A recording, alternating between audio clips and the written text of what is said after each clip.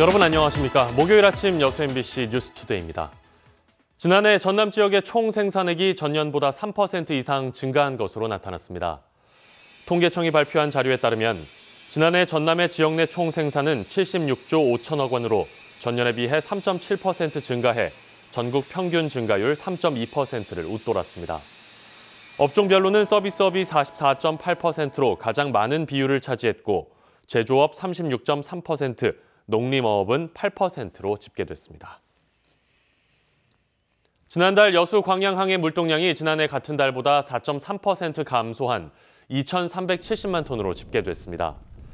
유형별로는 수출 화물이 1년 전보다 14% 증가한 572만 톤을 기록한 반면 환적 화물은 40% 감소한 263만 톤에 그쳤습니다.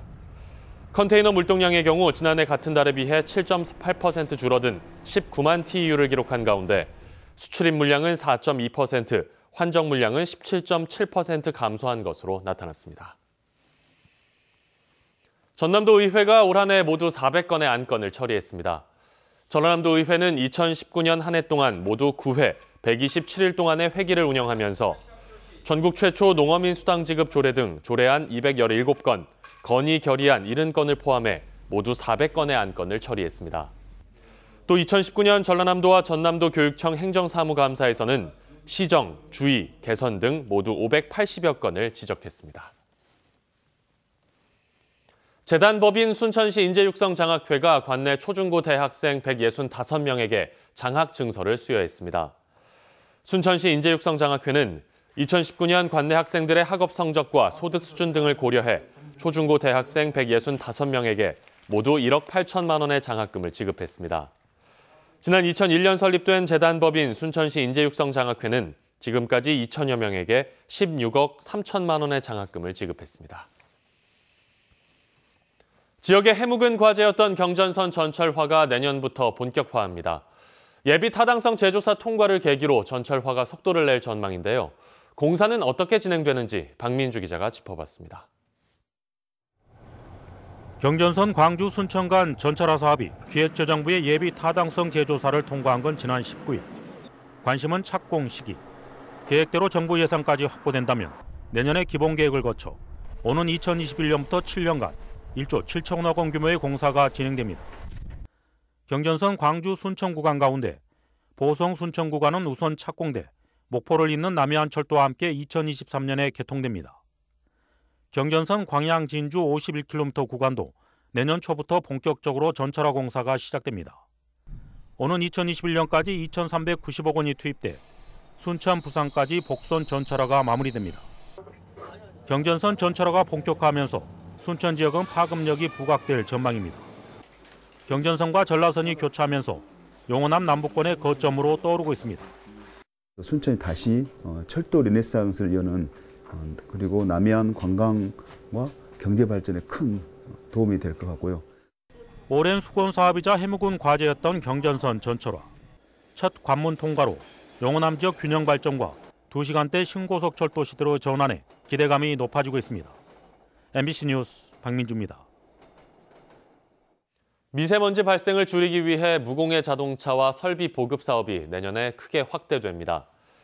여수시는 내년 한 해 동안 관내 시민과 가정에 수소 자동차를 75대, 가정용 청정 보일러도 200대를 공급해 각각 올해보다 보급량을 3배와 2배씩 늘리기로 했습니다. 또 전기 자동차 구매 지원도 300대로 확대해 올해보다 10% 늘리는 한편 노후 경유차 조기 폐차 예산도 16억 원을 확보했습니다.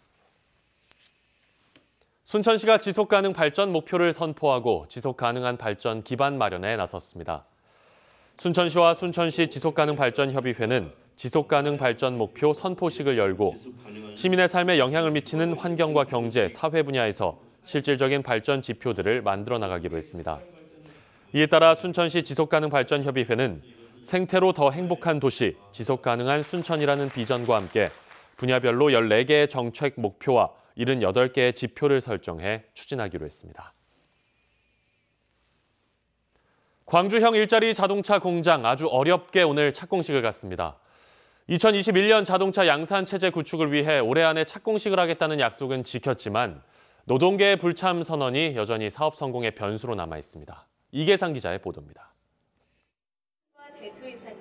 민선 7기 광주시에서 노사 상생형 모델로 추진됐던 광주형 일자리. 4년 7개월 동안 공들인 끝에 현대자동차가 투자 협약에 서명을 한 뒤 사업 추진이 본격화됐습니다. 문재인 대통령도 이 사업이 사회적 대타협의 가능성을 보여줬고 전국적인 성공 모델이 될 거라고 치켜 세웠습니다. 광주형 일자리는 혁신적 포용 국가로 가는 매우 중요한 역사적 전환점이 될 것입니다. 사회적 대타협을 통해 적정 임금을 유지하면서 더 많은 일자리를 만들 수 있다는 것을 증명하게 될 것입니다.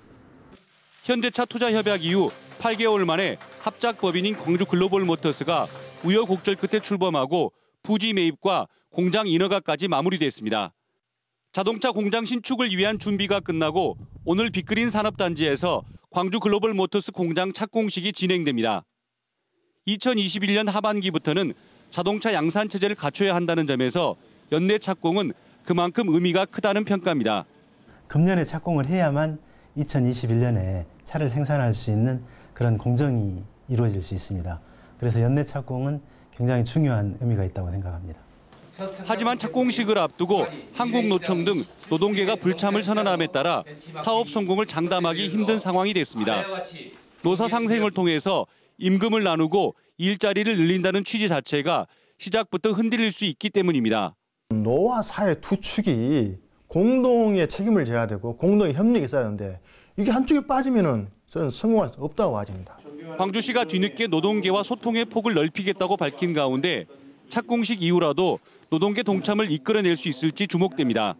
MBC 뉴스 이계상입니다. 다음 뉴스입니다. 겨울철 수두 환자 발생이 늘고 있습니다. 지난 1일부터 한 주 동안 전남에서 발생한 수두 환자는 96명으로 11월 첫 주 40명보다 2배 이상 늘어나는 등 올해 현재까지 2,900여 명이 수두에 감염됐습니다. 보건당국은 내년 1월까지 유치원과 어린이집, 초중고교를 대상으로 예방접종 실태 확인과 개인 위생 교육을 실시할 계획입니다. 광양시가 원도심 일대 시설 확충에 나섭니다.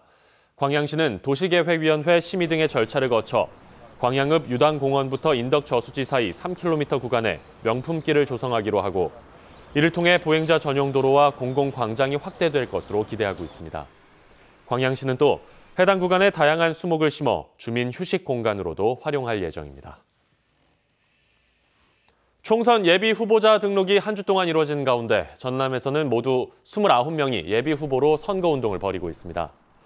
전남의 10개 선거구 가운데 이정현 의원이 타지 출마를 선언한 순천 선거구에 6명이 예비 후보로 등록해 가장 치열한 양상을 보이고 있으며 광양 곡성 구례 선거구에는 5명이 뛰어들었습니다. 29명의 예비 후보자의 정당은 민주당이 21명으로 가장 많았고 민중당 3명, 무소속 3명, 정의당과 국가혁명배당금당이 각각 1명씩이었습니다. 노인과 복지 관련 사업에 대한 여수시의 지원에 비해 청년들을 위한 예산이 턱없이 적다는 지적이 나왔습니다. 여수시의회 송재향 의원은 최근 10분 발언에서 내년 시 예산 가운데 노인 장애인과는 2,310억 원으로 올해보다 예산이 371억 원 늘었고 사회복지과도 66억 원이 늘어 579억 원인데 반해 청년 예산으로 분류되는 인구 일자리과는 99억 원에 불과하다고 밝혔습니다. 송 의원은 청년층의 어려움 속에 출산율이 떨어지고 청년 자살률이 증가하는 등 사회 문제가 심각해지는데도 예산 지원은 인색하다며 청년층을 배려할 수 있는 사회적 합의가 필요하다고 주장했습니다.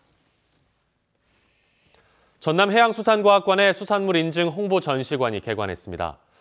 전남해양수산과학관은 전남에서 생산되는 대표 수산물의 홍보와 소비 촉진을 위해 여수시 돌산읍 해양수산과학관 안에 수산물 인증 홍보 전시관을 개관하고 전남의 대표 수산물인 김과 미역, 다시마, 굴비, 젓갈 등을 선보이고 있습니다.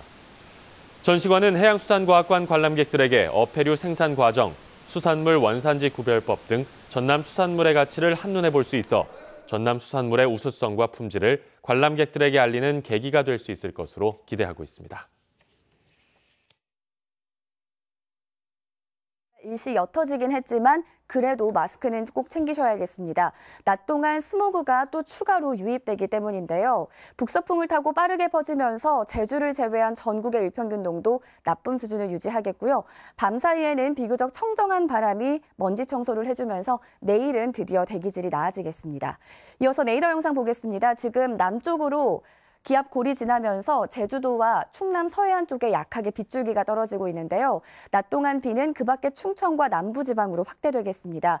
비의 양은 대부분 5mm 미만으로 적겠지만 내륙 곳곳으로는 눈으로 내려 쌓일 수 있겠고요. 서울 등 중부 지방 곳곳으로는 빗방울이 떨어지거나 눈이 날리기만 하겠습니다.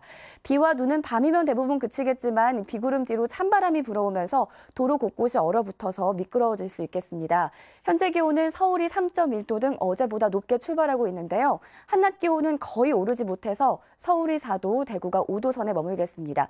내일 아침엔 더 급격하게 추워지면서 서울의 기온이 영하 6도까지 뚝 떨어지겠습니다. 날씨였습니다.